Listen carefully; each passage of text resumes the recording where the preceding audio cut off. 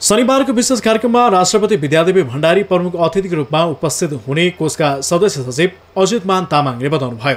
गरी उपराष्ट्रपति मन्त्री परिषदका सदस्यहरू सांसद राजदूतहरू अन्तर्राष्ट्रिय बौद्ध गोष्ठीमा सहभागी हुन आएका विदेशी मन्त्री तथा विशिष्ट पाहुनाहरूको समेत लुम्बिनीमा हुने विशेष कार्यक्रममा उपस्थित हुने सदस्य सचिव तामाङले जानकारी गराउनु भएको छ।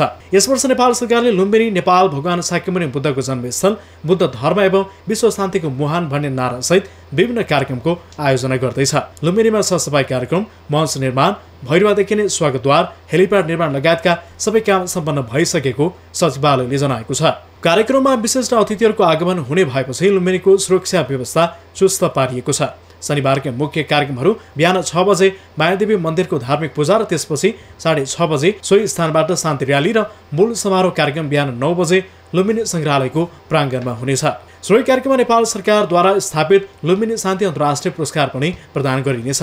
पुरस्कारको राशि पचास हजार अमेरिकी डलर रहेको छ। त्यसै गरी बुद्ध जयन्तीको अवसर पारी आइतबार बिहान मायादेवी मन्दिरबाट शिशु बुद्धको रथ यात्रा तथा मोटरसाइकल र्यालीसहित प्राचीन कपिल वस्तु तिलौराकोट लैजाने कार्यक्रम पनि छ।